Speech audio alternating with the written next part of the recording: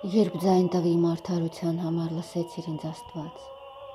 նեղության մեջ ինձ անդոր տվիր, ողորմիր ինձ եւ ականջ դիր իմ աղոթքին։ Մարդկանց որդիներ, ինչև երբ պիտի խստասիրտ լինեք, ինչու եք ունայնություն սիրում եւ ստություն փնտրում։ Իմացեք, որ Տերը զարմանահրաշ գործեր արեց իր սուրբի համար, եւ Տերը կլսի ինձ երբ օգնության կանչեմ նրան։ Եթե բարկանաք, մի մեղանչեք։ Ձեր անկողնու մեջ ինչ էլ որ ասեք ձեր սրտում, զղջացեք։ Արդարության զոհեր մատուցեցեք եւ Տիրոջ վրա հույս դրեք։ Շատերն ասացին. Ով ցույց կտա մեզ Տիրոջ բարությունը։ Քո երեսի լույսը ցակեց մեր վրա եւ ուրախություն տվիր մեր սրտերին։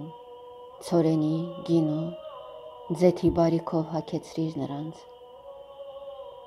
Այսուհետև մենք խաղաղությամբ կննջենք եւ կարթնանանք, քանզի դու միայն Տեր ապահովության մեջ բնակեցրիր մեզ։